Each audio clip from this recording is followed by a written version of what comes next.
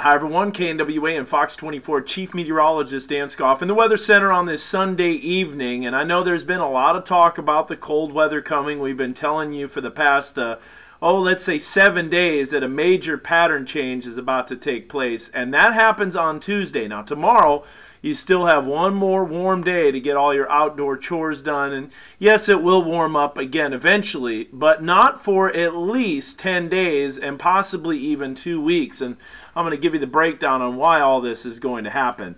First of all, the time of this recording is just a little after 10 o'clock on Sunday night. And look at the cold weather plunging in. Bismarck, North Dakota coming in at 23 degrees. Minneapolis is at 32, 31 in Billings. The Arctic air is plunging in. It has begun. Five degrees, single digits in high level in Fort McMurray, nearly single digits in Edmonton and Calgary, and that cold air will just continue to pile in. So as you'll see on the satellite and radar, watch how the cloud cover is moving almost straight north to south. A little bit of a north-northwest to south-southeast motion.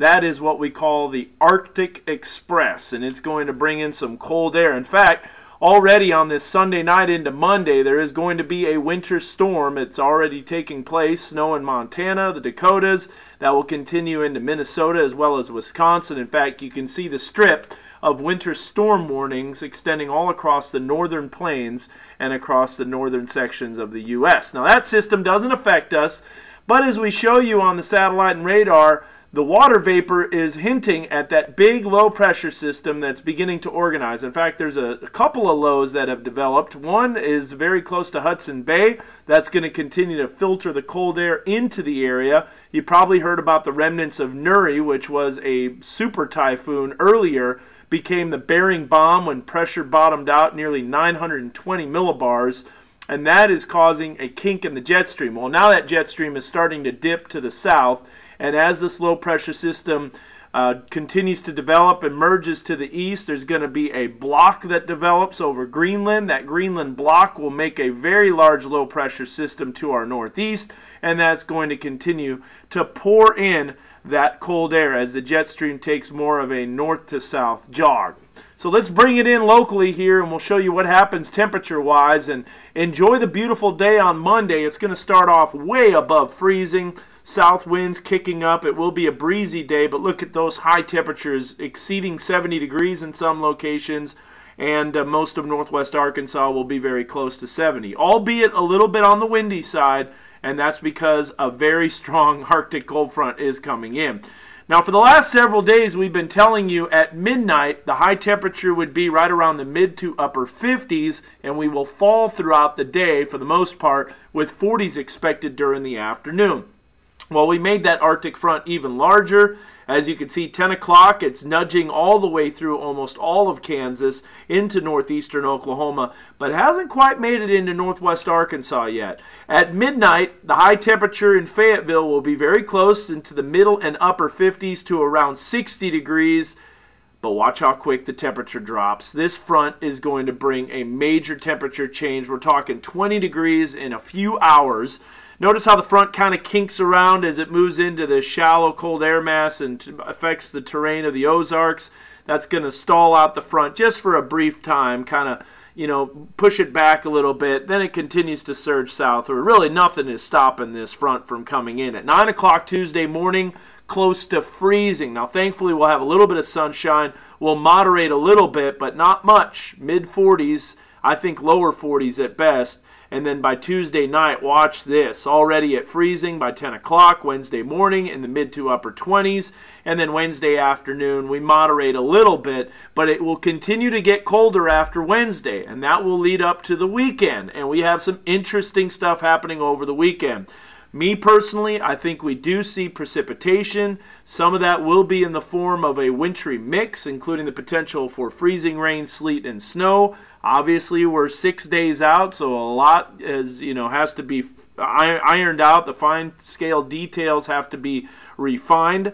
However, as you will see, Monday night and into Tuesday, there's that jet stream taking a dip, and essentially this is the strength of the jet stream and how strong it is and you can see that jet really taking a dip across the area. So That's what the jet stream's looking like Tuesday night as that front comes in. Now watch what happens on Friday and into Saturday. A very large low pressure system starts to develop off the west coast. Obviously, the timing of this system still has to be refined, but it does appear over the weekend a very large low pressure system will march eastward. There you can see the big dip in the jet stream. Look at that jet stream energy. We're talking over a 150 mile an hour sustained winds in the jet. That's about uh, 30,000 feet up in the air. And so there is your jet stream nosing in. Now, this is going to create several ripples of low pressure to move into the area from Saturday afternoon all the way through about Sunday night and into Monday. Then the system swings east. But look at this. The jet stream still is in a northwesterly to southeasterly pattern. That's going to continue to pour in that cold air. So cold air really isn't going anywhere for the next several days, and we're including possibly as long as maybe 14 days of cold weather. This is going to be a prolonged cold snap, and the jet stream really doesn't change much. Now, as we look at Saturday, notice 6 o'clock Saturday evening. This is according to one computer model, and this is one that I definitely trust a lot more often than what we call the GFS, which is the Global Forecasting System uh, with the uh, NCEP models. But watch what happens Saturday night into Sunday. We're continuing to get snow, those little ripples of energy coming in, and just a small change will affect this snowfall forecast in a major way. This is not exactly what's going to happen. However, you can see a very large swath of winter precipitation. Now, depending on what the thermal profiles are, if we have a warm air uh, about uh, three to 4,000 feet above the ground, which creates a little melting in the mid levels. That all has to be, you know, refined and, and fine tuned. It's going to be a very difficult forecast the point is, though, we have that potential for cold weather. It's coming in. Cold is definitely moving in as we head into our Tuesday, especially Tuesday in the morning hours. Our high temperature will be early on in the day, will fall throughout the majority of the day. A lot colder Tuesday afternoon. Wind chills in the low 30s. We fall even more on Wednesday, Thursday, even colder. And then we're watching that system that swings in off the west coast of the United States. Lots of jet stream energy. But still, this is not a set in stone forecast. That's why we can't give you accumulations. We can't tell you what the main precipitation type will be. But me personally, I think we do see precipitation over the weekend.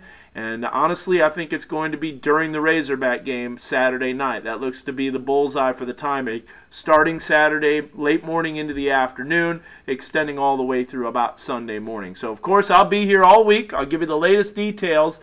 But until then, keep it here with your weather authority, and we will keep you up to date with the latest.